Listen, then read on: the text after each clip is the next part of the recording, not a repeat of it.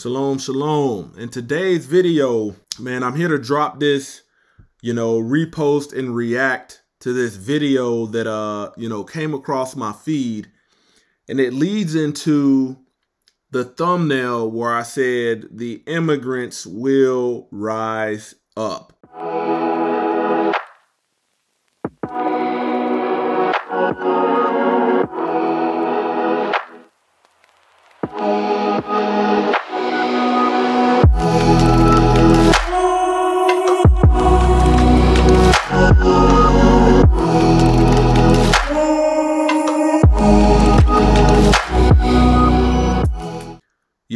Terminology has went from illegal alien illegal citizen you know migrant immigrant. They always switch they always switch the terminology to sway your mind a certain direction. If they tell you they're illegals they know it's going to provoke a emotional stimuli and you will be against. If they don't say they're illegals, then you're like, "Oh, okay, they're under a different uh status." When I was a drill sergeant, you know, several soldiers or trainees uh, from each basic training class we would always have these soldiers. There was a program at the time called the MAVNI program. And what that was, was a program to help you earn your citizenship. And there was a lot of good uh, soldiers that came out of that program, but there was also some that were security violations and they found this out later and they did away with the program. You know, when I was on recruiting many years later, people would ask, you know, for sake of their children, because they themselves didn't have legal status, would ask if their children could join and earn their citizenship you know, via the MAVNI program. And I would have to tell them, yeah, that program is old and it only lasted for a certain amount of time. But the bad thing is there's no longer a required how how can you justify making somebody put in an application to earn citizenship working with immigration checking on a status and they just open the floodgates to allow, uh, a, you know, as they call it, migrants in. And in today's video, I want you to think about when I play this clip, how can this country afford to do this? How can they afford to help you know, migrants, as they call them, with housing. They've already given health care. While you you wake up and try to play the system the right way, you punch in and punch out, you know, playing it by the book. And you're going to hear some things in here that you yourself, as a citizen, don't even qualify for. Let me pull up the national debt ceiling, current. Let's see where we're at. Okay. As of August 28th, 2024, the national debt for the United States was 35.8 to $1 trillion. This is the total amount of money that the federal government has borrowed over the course of the country's history. When you think about that, you'll realize, man, we cannot ever get out of debt because not only will these people give it, mark it on your calendar in the next 10 years, these migrants are going to rise up over the average person. And this video is going to show you how. If other states, you know, take the take the bait and follow suit behind California, migrants will rise up. This is why I've been telling you, you know, if you go to my business playlist, I, I I'm talking to you about something that's out of the box so you can uh you can start paving a way for yourself. Man, let's go ahead and roll the footage. California has a program meant to help low-income first-time homebuyers get a down payment. William La Jeunesse joins me. William, could this program soon be available to illegal migrants? Well, Stuart, that is what Democrats are trying to ram through Sacramento right now. It's basically a program. All right, listen to who they listen to what political group they said was pushing for this. See, they want you ignorant. They don't want anybody asking these questions at the rallies and at these debates about the national debt ceiling and what you're going to do and in your tenure uh, if elected what you can do and how much do you think you can bring it down. They don't want that. Let's keep going. Subsidizes qualified illegal immigrants to up to a $100000 each to buy a home.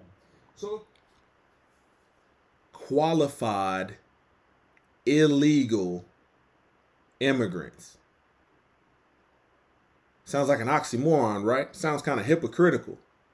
Qualified illegal immigrants. You qualified, but you illegal. And also an immigrant. Program is called the California Dream for All program. It's created to help middle and income home buyers. Now, initially, the program required residents to be here legally, either a U.S. citizen or a legal permanent resident. But last week, Assembly Democrats overrode Republican opposition, changing that eligibility to say this an applicant who meets the requirements for a loan under the Home Purchase Assistance Program shall not be disqualified by the agency based solely on the applicant's immigration status. The social so let me tell you this. You know, nothing bothers me more when I hear uninformed or uh I'll say Israelites still asking for this government to give them 40 acres and a mule. They're not going to give it to you. Listen to what I'm saying. That is dead. Don't expect it. You are going to have to return to the covenant and free yourself from this system as much as you can while we are in exile. If you are in Israel, period, even if you are not by bloodline, you know, but you are walking righteously, you are going to have to free yourself from this system. Free yourself.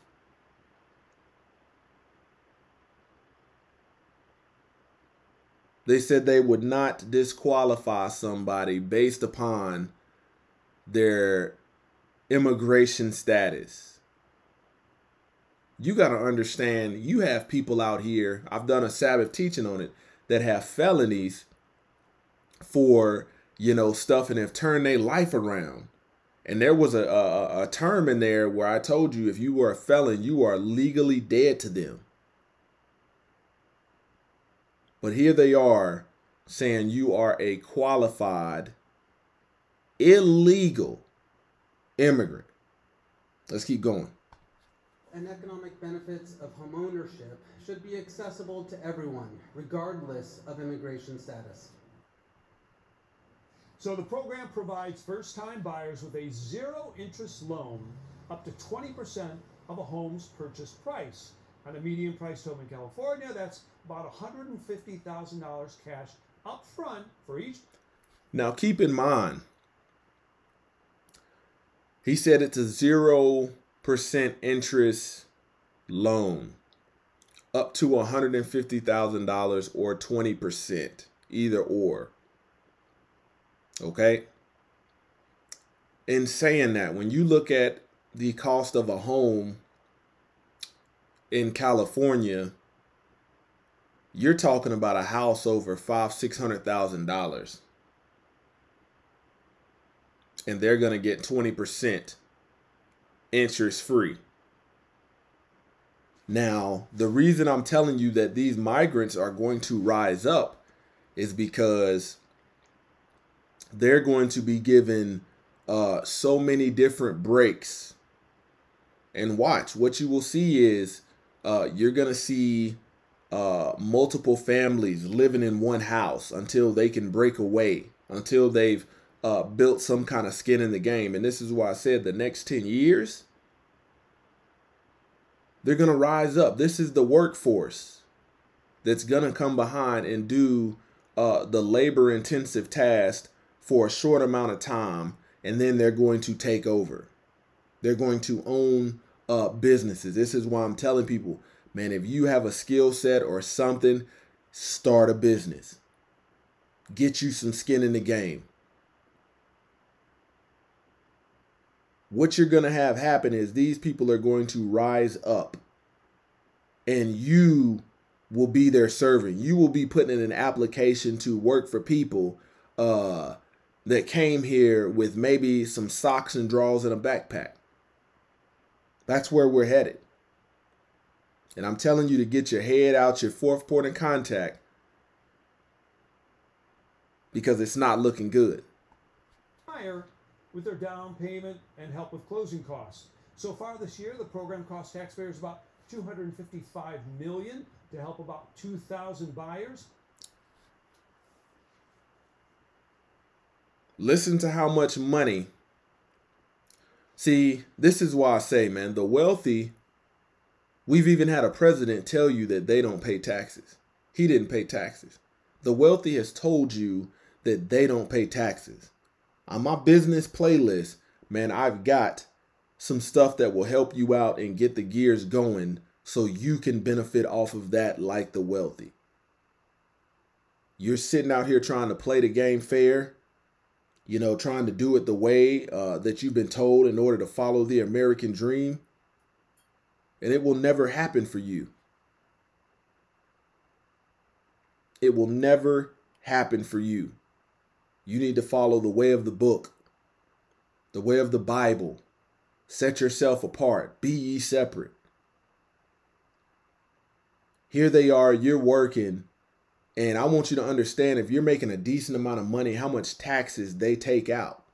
If you're a W 2 earner.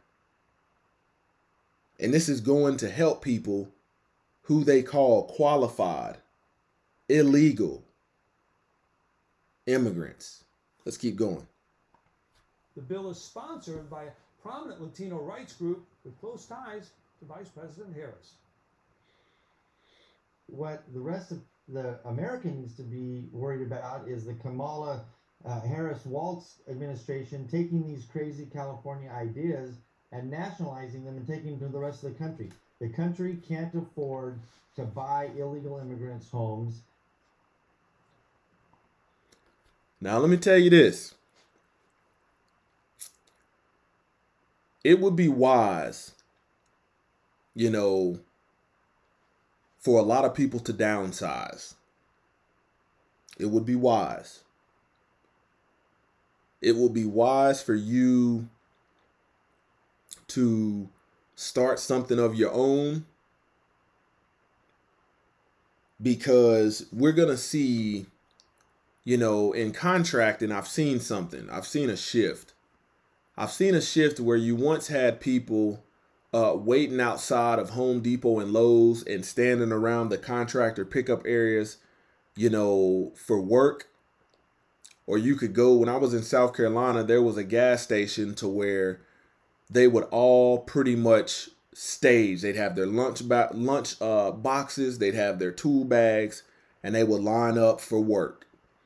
And fast forward to today, now when you see the contractor section at Lowe's, you see these people that have, uh, you know, earned their skin in the game, far as in the workforce. Now they own the businesses. Now they drive the price, and it's no longer the cheapest price in town.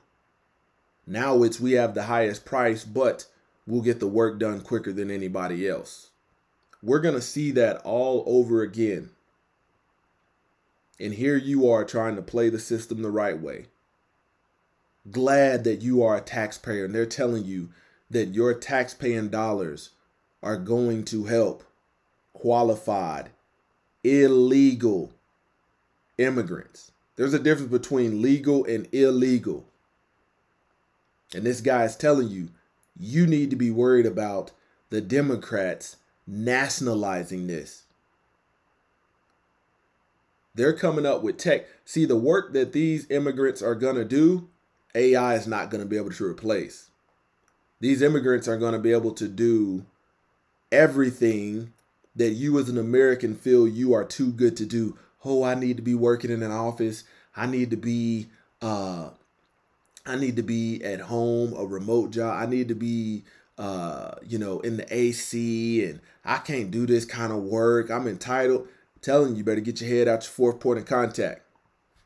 So eventually, Stuart, the state is repaid with little appreciation. It is run by a state eight. National debt ceiling as of August 28, 2024 is 35.21 trillion. And they're talking about the state is repaid a little appreciation. We can't afford that. This country is broke in taking the money of taxpayers, creating programs that will get us further in debt. Let's keep going. See that will then help the immigrant obtain the other 80% of the financing. Uh, the bill is expected to pass this week. We don't know what Governor Newsom is going to do. Sign it or not. Back to you. My guess is he'll sign it, but that's another story. William, thank you very much indeed. So there you have it, man. This is uh, another shocking current event, and I'm gonna follow this topic, man, hoping to uh, you know stimulate your minds and um, get those gears going so you can help set yourself apart. Close to Yah Ministries, kicking that thing gun barrel straight.